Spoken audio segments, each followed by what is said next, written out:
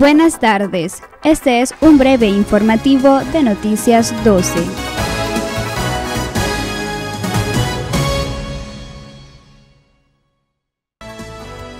Tras el anuncio de las autoridades del gobierno de Nicaragua sobre la nueva jornada de vacunación contra el COVID-19 para mayores de 30 años, cientos de nicaragüenses acudieron desde ayer domingo y la madrugada de este lunes para asegurar su primera dosis de la vacuna contra el COVID-19. Estados Unidos exigirá a los extranjeros adultos estar vacunados contra el COVID-19 para ingresar al país. La Asociación de Transportistas solicitan al gobierno prioridad en fronteras para importación de oxígeno.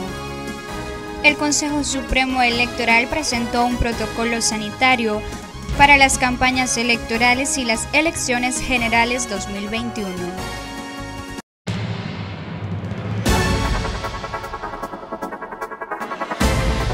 Espera la ampliación de esta y otras informaciones a las 6 de la tarde.